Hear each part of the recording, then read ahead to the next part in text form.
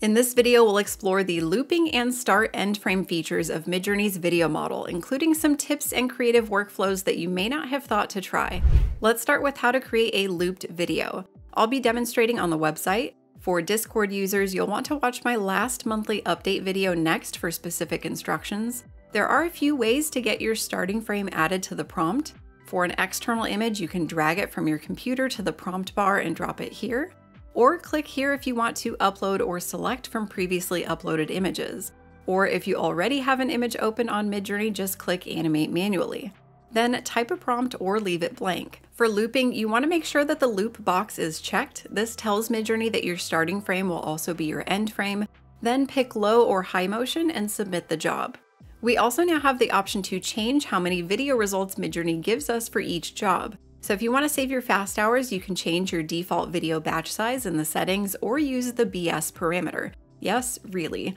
So looping is pretty straightforward to run, but I want to show you some different examples of how you can use it. First is characters in motion. For this type of looping, you want to make sure that the character already appears to be in motion in your starting frame. In this starting frame, the astronaut is mid-stride. This is important because if he was just standing there, a looped video would have him walking and then stopping every 5 seconds.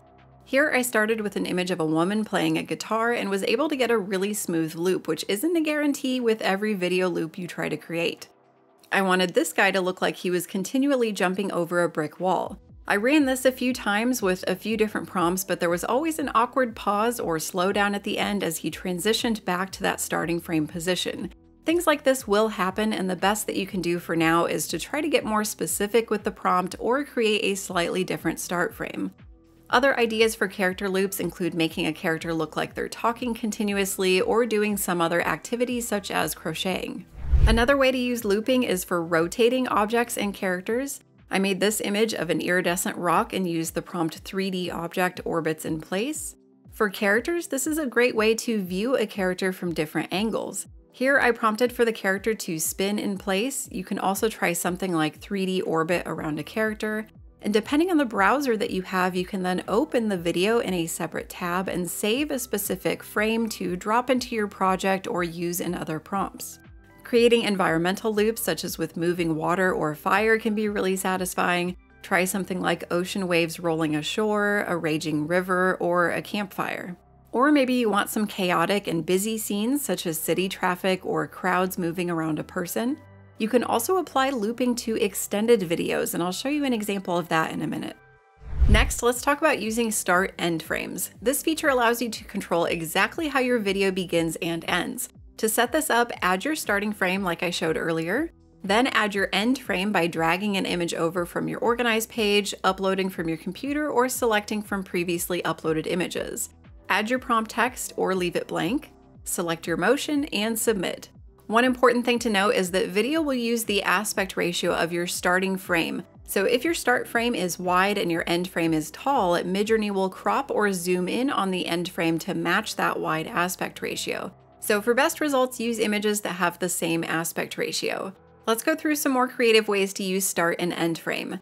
First is camera movement. In previous videos, I covered how to use prompt text to direct camera movement, but you can also use start and end frames to do this. So I have this image and I used Midjourney's image editor to zoom out and used that zoomed out version as my end frame. In my experience, the video model really likes to zoom in on faces regardless of what prompt you use, but by using an end frame, we can at least guarantee that most of the final clip will be zooming out.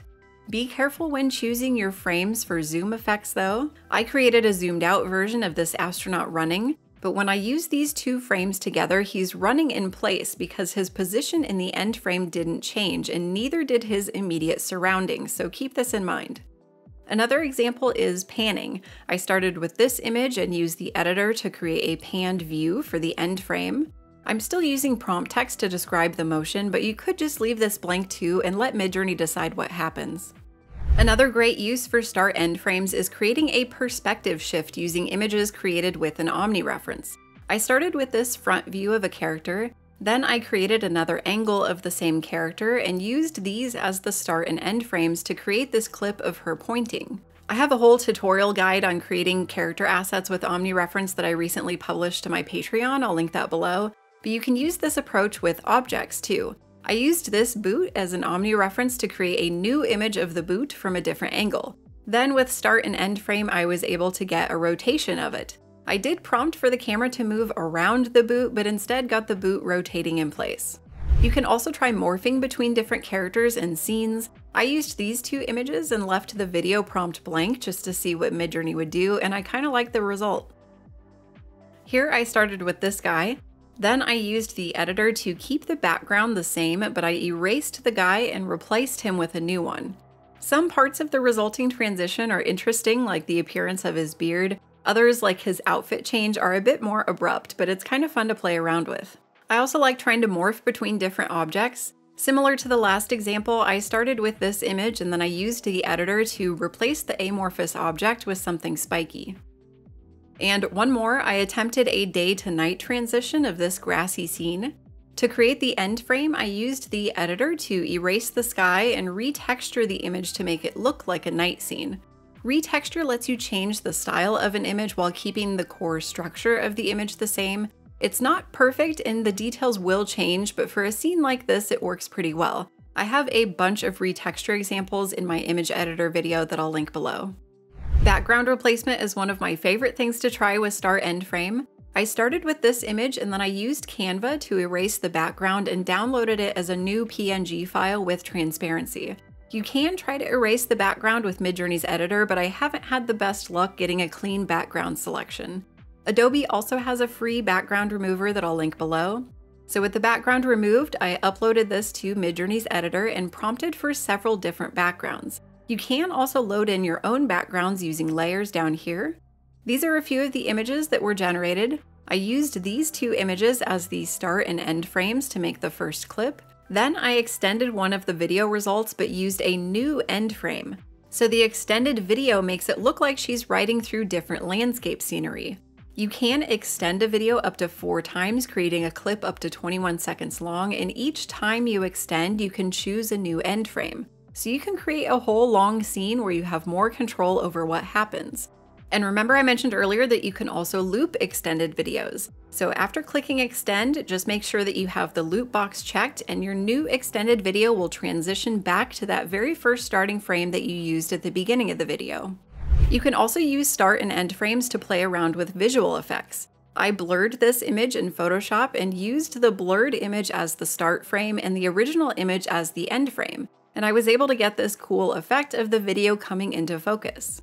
Something else to consider that doesn't get a lot of attention is using Remix to create different versions of your starting frame that you can then use as an end frame. You can do this with Vary as well, but Remix lets you change the prompt, which is important. Here I have an image of a character and I want to create a new image of that same character in the same scene, but I want him in a different pose. So I clicked Remix Strong. You can choose between subtle or strong depending on how much variation you want in your results. Then I added that same image of him as an Omni reference. For the prompt, it's important to include all of the parts of the Omni reference that you want to show up in your results. So the character, his outfit, the doorway to the coffee shop, and what I want different is that I want him to wave at the camera, so I include that as well. Here's an image result that I got on my first try. Then I created the video using the original image as the start frame and the remixed image as the end frame, and this is one of the results. So I really like this approach because you have more control over the scene, especially when using an Omni reference to create the end frame. It can help you keep more detail consistent throughout the whole clip. So I hope you found those tips helpful. If you enjoyed this video, please consider liking, subscribing, and maybe even joining my Patreon community where you'll find all of my monthly prompt collections, exclusive videos, and other Midjourney guides. As always, thanks for watching, and I'll catch you in the next one.